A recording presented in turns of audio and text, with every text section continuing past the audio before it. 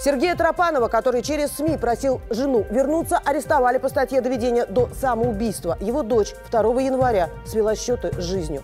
По версии следствия, отец жестоко избивал ребенка в течение года.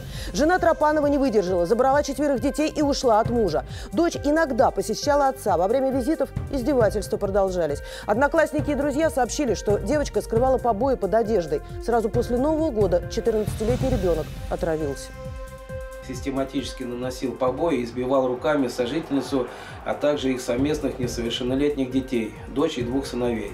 В мае 2020 года, не выдержав жестокого обращения со стороны подозреваемого, потерпевшая с детьми была вынуждена переехать на другое место жительства. Согласно заключению эксперта, э, указанные умышленные действия подозреваемого, а также последующие за этим судебные разбирательства способствовали наступлению у девочки психотравмирующего состояния.